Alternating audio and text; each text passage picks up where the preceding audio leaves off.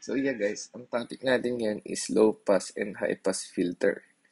So simulan na natin sa low pass filter. So pwede siyang composed ng RC or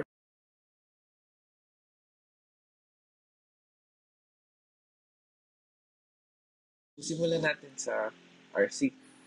So di ba, ang formula ng XC natin is 1 over 2 pi FC. So, as you can see, pag nagpasok tayo ng high frequency dito, ang tendency, bababa yung capacitive reactance natin if the high frequency. So, ibig sabihin, madali siyang makakapasok yung high frequency dito sa capacitor directly towards the ground. So, ang matitira na lang dito na filtered out na natin yung high frequency So, ang papasok na lang dito is low frequency.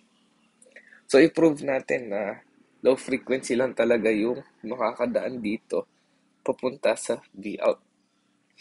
So, since ang frequency natin ay mababa, as you can see, inversely proportional sila ng XC. So, ang XC natin is tataas. So, ibig sabihin, pag nagpasok tayo dito ng low frequency, di siya makakadaan dito sa capacitor kasi mataas yung reactance niya, mabablock na yung low frequency. Tama. Same goes with this.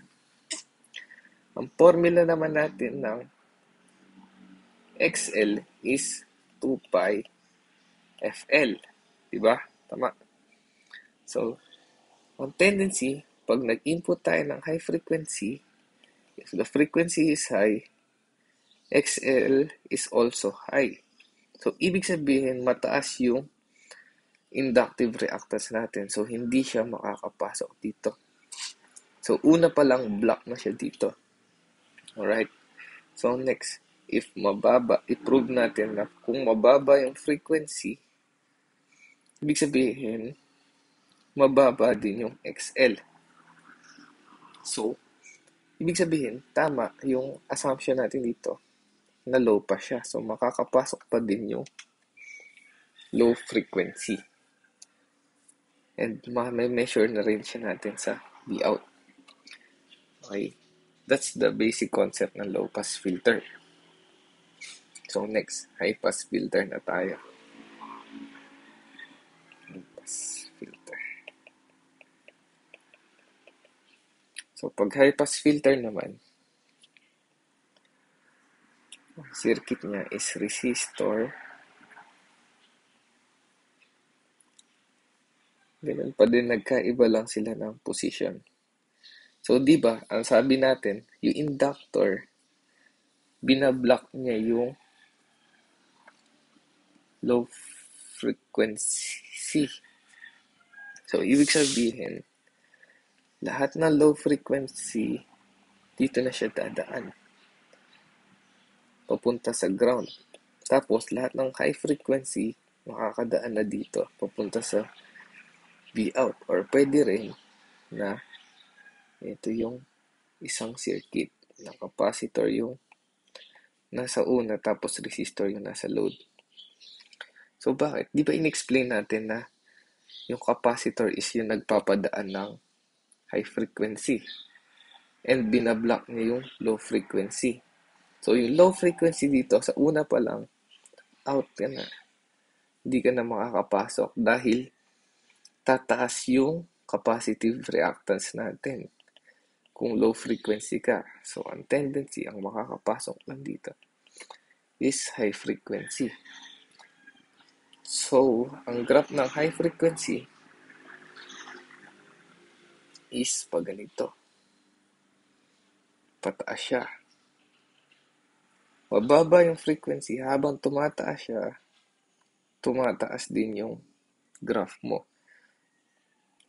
So, ang cut-off frequency niya is negative 3 dB.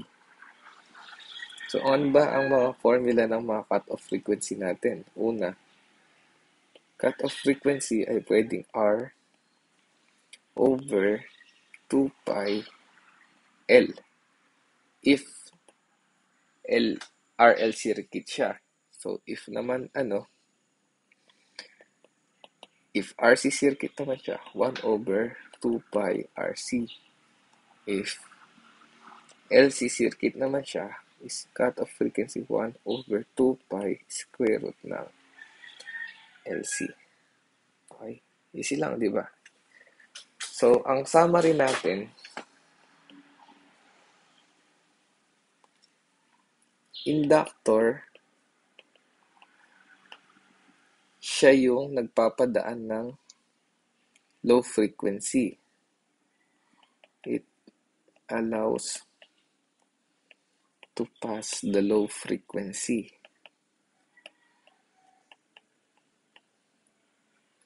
Pag naman capacitor, it allows to pass the high frequency. So, simple lang. Yung lay concept, mikot lang sila sa formula nila na na inductive reactance is 2 pi FL and capacitive reactance na 2 1 over 2 pi FC. So, yun lang ang concept niya.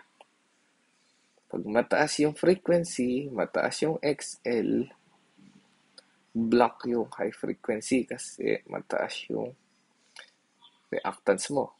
Mataas yung frequency, bababa yung XC, pasok yung papasok yung high frequency mo.